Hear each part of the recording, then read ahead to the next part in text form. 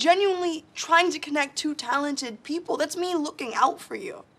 That's not looking out for me. I mean, how do you not get this? Not get what, Luca? That the history between you and this dude and our history as exes makes it a little bit more complicated than just connecting two people? I mean, do you not remember when you played me for this dude? My gosh, I didn't play you and you said you were over it. You're right. I am over this. I'm a million percent off this. You and me both. And you know what? I think we tried this friendship thing too soon because we're clearly not ready. No. And I don't think we'll ever be ready. Because I was never trying to be your friend. I was in love with you. And I was in love with you too.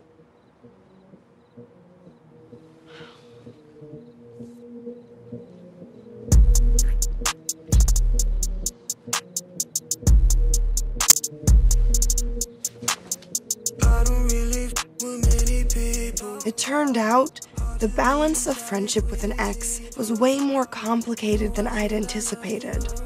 While some people are mature enough to navigate this tricky dynamic, others backslide on their kitchen counters.